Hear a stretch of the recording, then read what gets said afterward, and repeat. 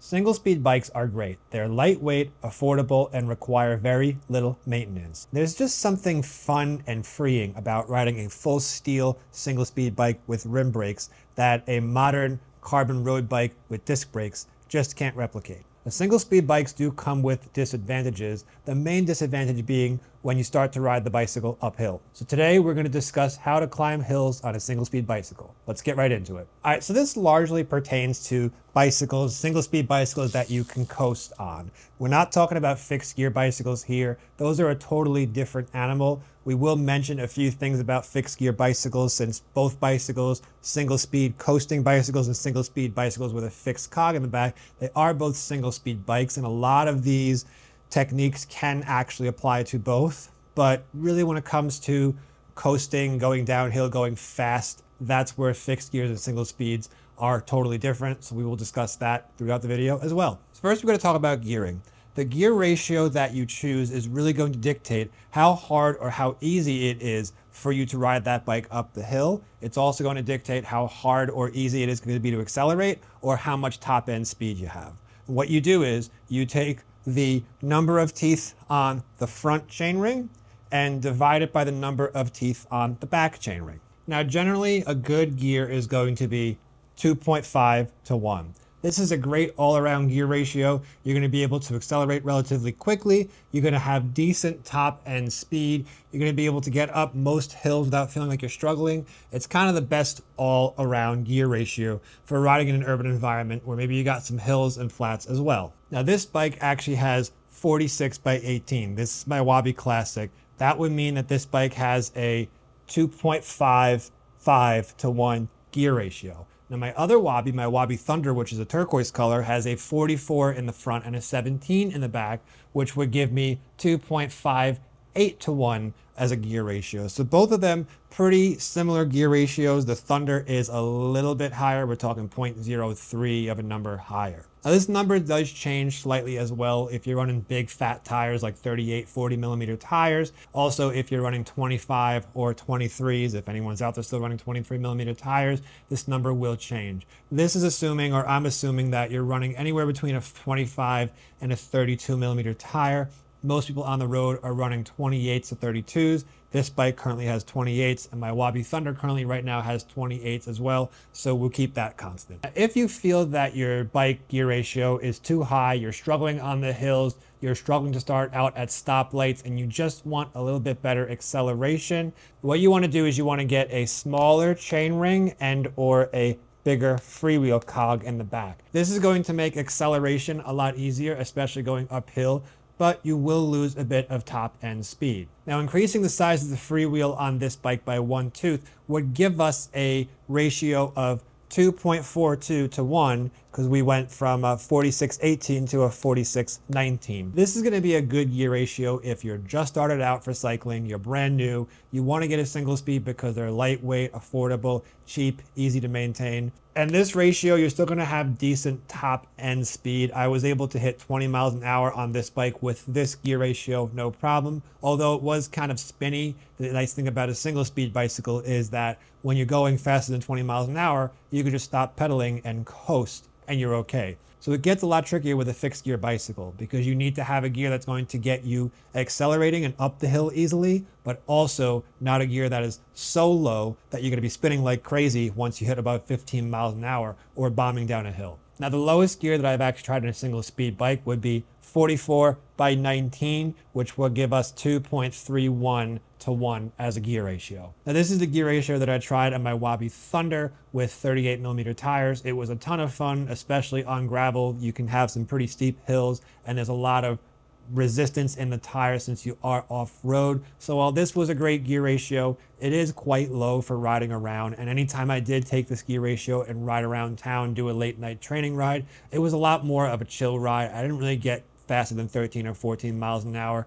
You can probably hit 20 miles an hour. I think I did hit 20 miles an hour a couple times, but it was pretty tough. You got to spin pretty crazy to get to 20 miles an hour. This is a good ratio, but I would only choose this. This is only good for those specific specific situations. It's not great for if you want to cover more ground or if you actually want to go out there and do some 30 or 40 mile rides on your single speed bicycle. So for gearing, you're going to want to choose a gear that you can get up the hills but not something that makes the hills super easy. I will be honest, when I'm riding this gearing, the 4618, I barely have to stand up anymore for the hills just in my area. So I am tempted to throw on a 17 tooth cog instead of an 18 tooth cog or freewheel rather in the back going from a 4618 to a 4617. I had the 4617 and I really enjoyed it, but just because I've been getting back into cycling the past few months. The 4618 is a bit friendlier for me. So it does work right now, but for my local terrain, it is a bit easier for me. I don't find I have to stand up as much. But if I continue to ride over the Queensboro Bridge or the Williamsburg Bridge into Manhattan, this is where the 4618 is actually going to aid me because those are some bigger, hillier bridges that I normally don't ride over all the time. And this is going to give me more flexibility. I can ride more hills than what I just have in my local area here in Queens. So if you're finding that you're standing up on any hill, even if it's a tiny hill, you might want to gear down to an easier ratio. But if you're finding that you don't have to stand up at all anymore, you can just kind of sit down and chill and just sail up those hills, no problem. Maybe it might be time to actually go up one tooth at a time just so that you can cover more ground a little bit easier. That's usually a sign that you're actually getting stronger and you're able to cover more ground since you're just overall in better shape.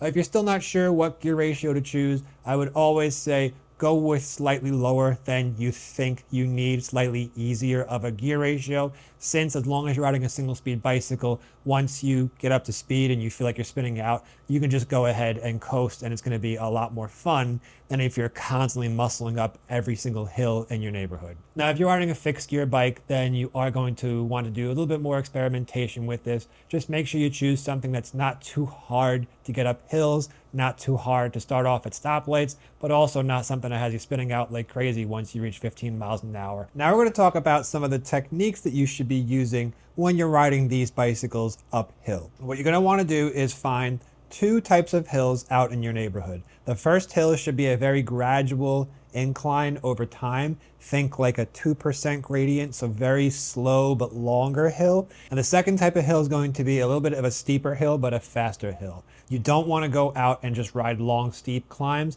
That's going to be very hard, especially if you're new to single speed cycling. Now, you're going to have to get up and climb out of the saddles. Standing up and pushing down the pedals with your entire body weight is going to be a lot easier going uphill when you only have one gear. Remember, you can't just click a downshift with the levers. You don't have shift levers, you have brake levers. Standing up is going to be a lot easier when getting up a hill. Now, standing up, you don't want your hands to be right here. You want your hands to be on the hoods.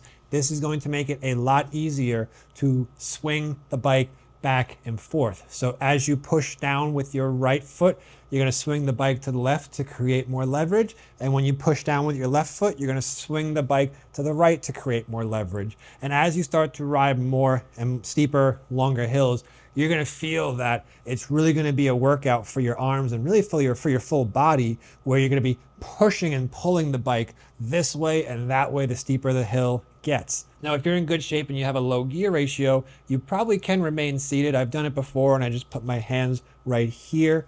But mind you, that's going to drain your legs a little bit faster. You're, you're going to use more of your leg strength than anything else, and your leg is going to be fatigued a lot earlier. Whereas if you use your full body, it's going to be a lot easier to muscle up those hills. But there's a couple of caveats here. Using just your legs means that your legs are going to get tired faster, but overall you're going to have a lot more energy. Your heart rate isn't going to go as high. But when standing up and wrenching the bike back and forth, while it's going to save your legs, you're going to use more energy overall and you're going to have to refuel and rehydrate a lot faster and your heart rate is going to go a lot higher. For anyone out there that actually exercises and tries to stay in zone two, this is where standing up and climbing on a single speed bicycle is going to take you way past zone two. You're going to go anaerobic, I think is the term. It's not going to be as aerobic as just sitting down and spinning up a hill on a geared bicycle. Now, at first, it's going to be very hard to get up hills on your single speed bike but you'd be amazed that just in a few weeks or just in a handful of rides, it's going to get easier and easier. And you may just find that when you go back to your geared road bike, you actually start to forget the downshift. which has happened to me multiple times. Now, which handlebars should you choose? This is really up to you, but I am most comfortable choosing the road drops with the road levers or the compact drop bars with the drop bar levers. These are going to give you a lot of hand positions and you're going to just be overall more comfortable and these are the most versatile handlebars for riding on the road. You have the tops, the hoods, and the drops and the brake levers are easy to grab from the drops and they're not that bad to grab from the hoods either.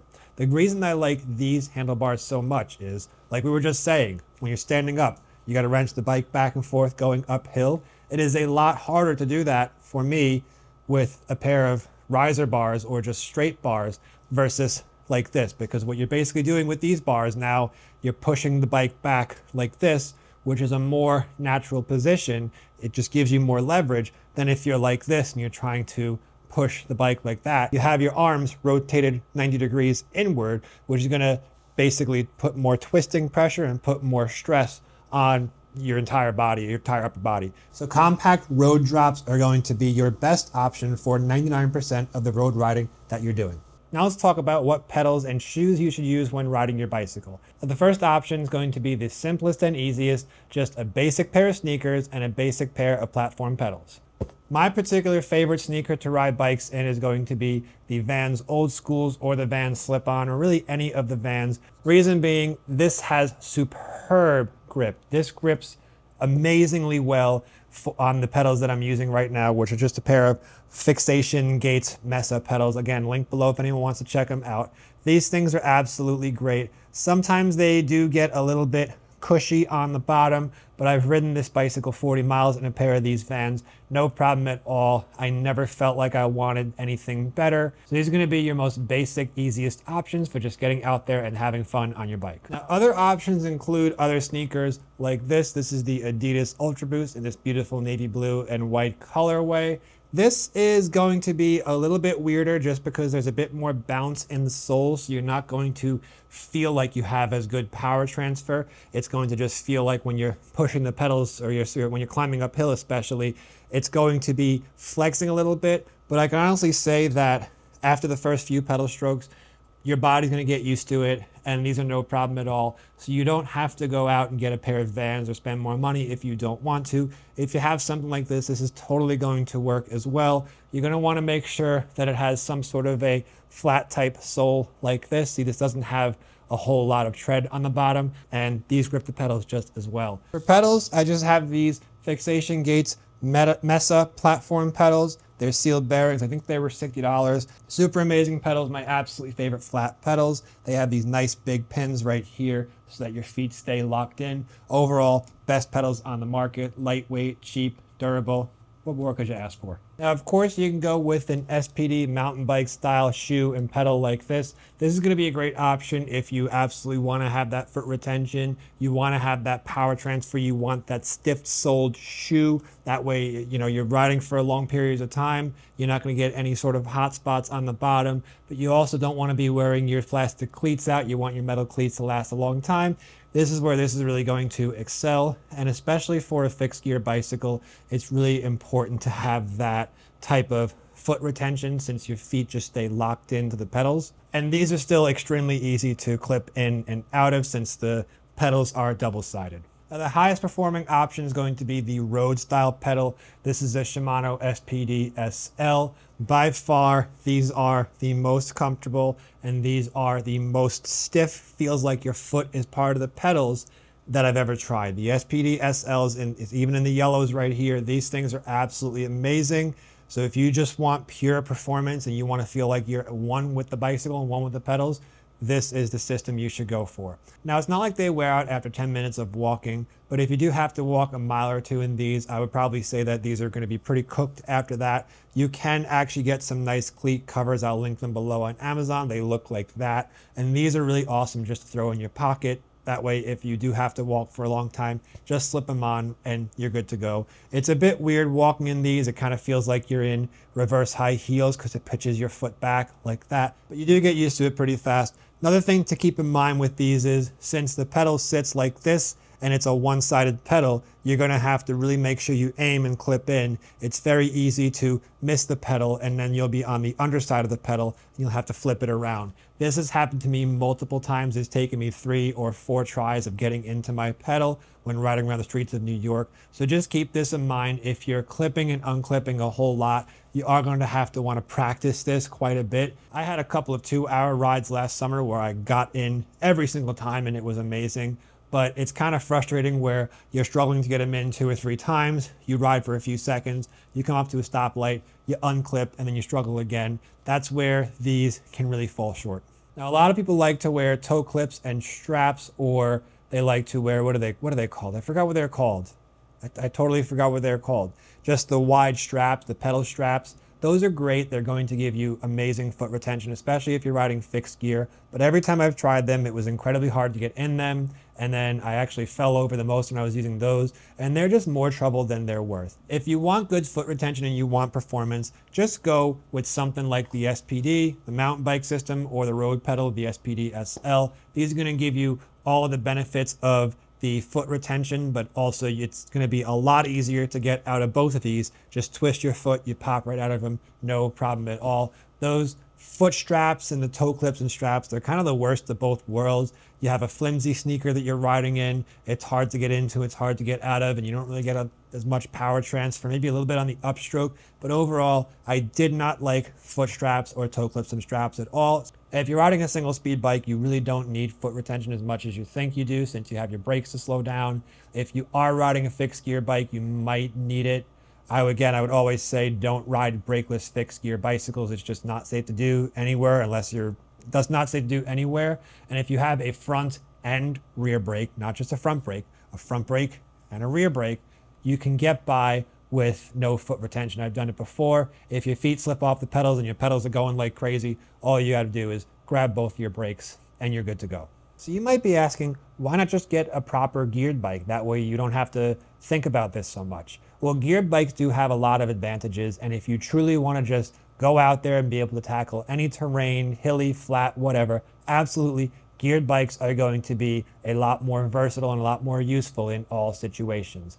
But geared bikes a lot of times are going to be two, three, sometimes four times as expensive as their equivalent single speed bike. Not to mention, gear bikes do require a lot more maintenance and attention. You just have to be a little bit more careful with them. Now, some of the more recent modern gear bikes have electronic drivetrains. This means you don't have to run a shift cable ever again, just charge the battery, that's it, bingo bango, don't have to worry about it. But you do have to worry about the bike falling over, and now your fancy, expensive electric derailleurs are going to just stop working because you hit a rock when you fell over on a gravel path, and it's going to cost you an arm and a leg to replace it, versus just a mechanical drivetrain. It's not going to be as easily broken and it's also going to be a lot cheaper to replace, but you still got to replace it. Whereas a single speed bike, no derailleurs, no shift cables. It's just one less thing to go wrong, one less thing to think about. No Di2 or eTap batteries to charge, no shift cables to go out of whack either. Single speed bikes make great training bikes. If you're just going for one or maximum two hour rides a couple times after work during the week in the summertime, you're going to get a lot more bang for your buck and build strength a lot faster riding a single speed bike up a hill than riding a geared bike up a hill. Riding a geared bike up a hill, just throw it in low gear and spin up almost like you're on a roller coaster, just your legs are spinning like that. It's a great aerobic workout, whereas riding a single speed, you're going to have to just push and your legs have no choice but to get stronger. So if you only have a limited amount of time, you could actually get faster and stronger in a much shorter amount of time or with a lot less miles per week than on a geared bike. So single speed bikes are amazing bicycles to own and to ride.